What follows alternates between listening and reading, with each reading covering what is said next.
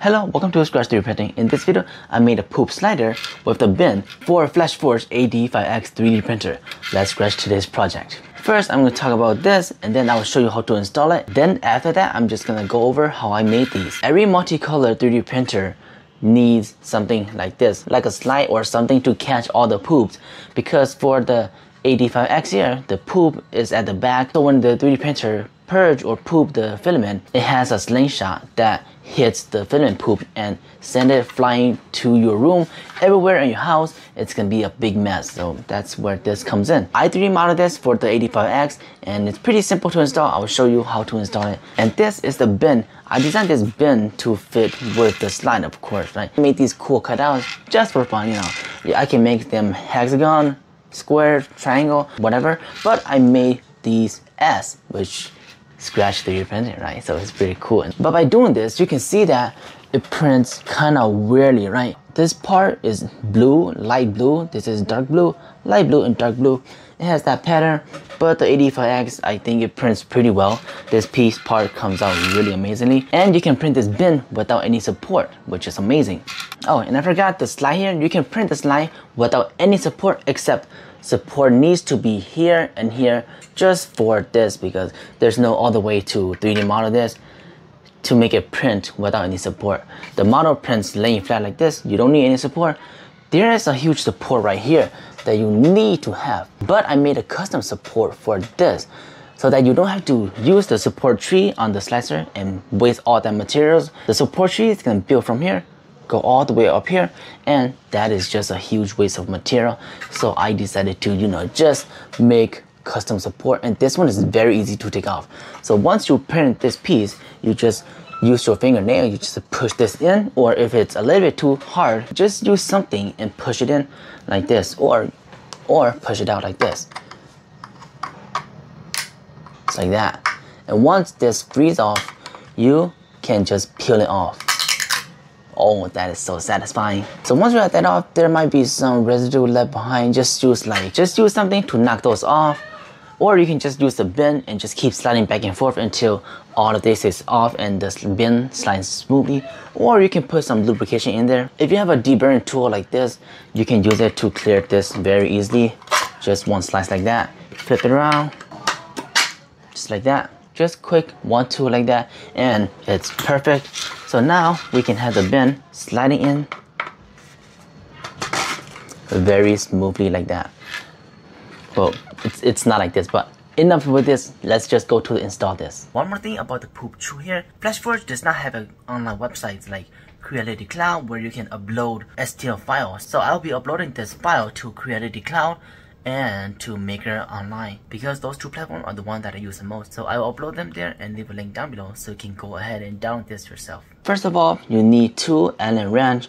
Um, these are the one that comes with the 3D printer, so you should have them. You need to remove these two screws, but from what I have seen, the older version of the AD5X doesn't have these two screws.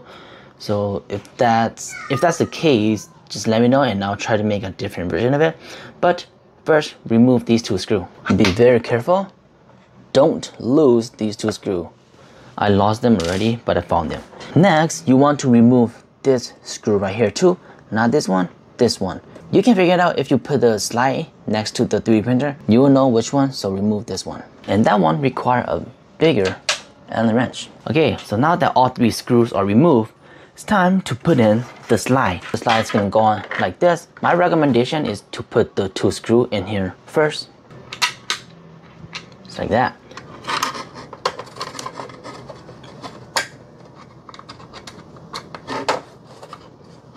Just like this. Don't tighten them fully yet. Just make sure it's secure. Now we're gonna install this screw back. It will be very easy to install because I made I made a hole right there and hole right there. So you just put the screw in there, put the Allen wrench through here, and then screw it in. It's not gonna be the best angle, but I recommend putting the Allen wrench through, and then put the screw in, and then find the hole. Then we just screw it all the way in there.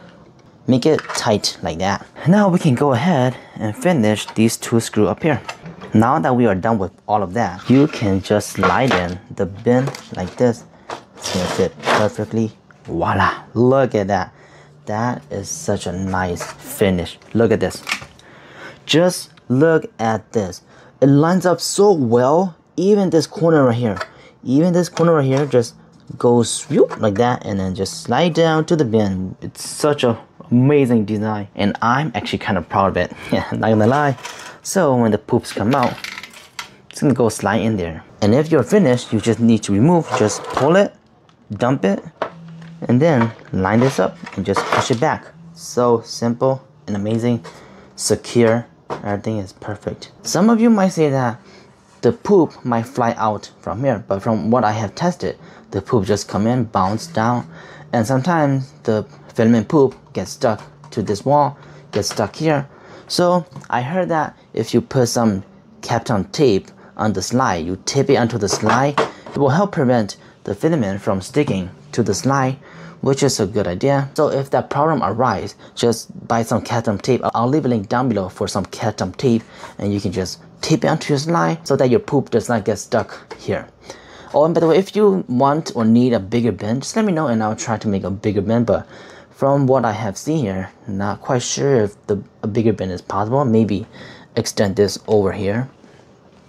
But for those people that have limited space, I feel like this is perfect. And this slide is way bigger than the slide I made for the Anycubic Kobra S1 and so much bigger than the K2 Plus. People said the slide of this is too small, it keeps getting clogged. So hopefully this one is so much better. Well, that'll be it for this video of me making the poop chute poop slide for the AD5X. So now I'm just gonna talk how I model this. I'm not here to brag or anything like that, but I modeled this whole thing in just in like two hours. Model, print, test, and then remodel it again just in two hours, which is crazy. The ones that I made for the Kobra S1 and the K2 Plus, it took me two days. So going from two days just to two hours, I'm happy about it. So the first thing that I did is measure the two screw hole and I just 3D print this really quickly, test fit, and it fits perfectly. So once I had this, I went ahead and continued the design. The second revision or design is this whole slide right here. And this whole slide, it's not finished yet. It still has sharp corner, not refined. There's no curve here. I was just testing the fit of these two screw again, testing the length here, and then testing this curve here and it actually fits pretty well. So I just keep using the design. And of course, you need support right here. Once I print this and fit it and it fit well, I just measured this corner right here and just mounted that in there. After that, I did another remodel to make the connection, the dovetail joint. I was thinking of using the similar connection I used on the Kobra S1, but that is not really secure. Sometimes it might come off, so I just went with a dovetail joint just to make it super secure. And then it comes this part. So this was the first part of the dovetail joint test piece. And so you can see there, I made the support here I made a custom support here for the joint, but this one was so hard to remove that I had to make another redesign, and that redesign is this new design that you saw earlier. It has teeny tiny attachment to the actual slide so that it supports the dovetail joint and it does not sag so you can print it really nicely and have the connection very nicely to it and then you can just rip it off very easily. That took two tries and I'm still proud of it. I have done all of those. I just model everything and then print and boom, that's what I get. If you enjoyed this video, leave a like on this video, leave a comment down below what do you think about this poop catcher and if you have any suggestions upgrades for the poop slider catcher in the bin let me know in the comments down below leave a like subscribe to the channel and as always keep on 3d printing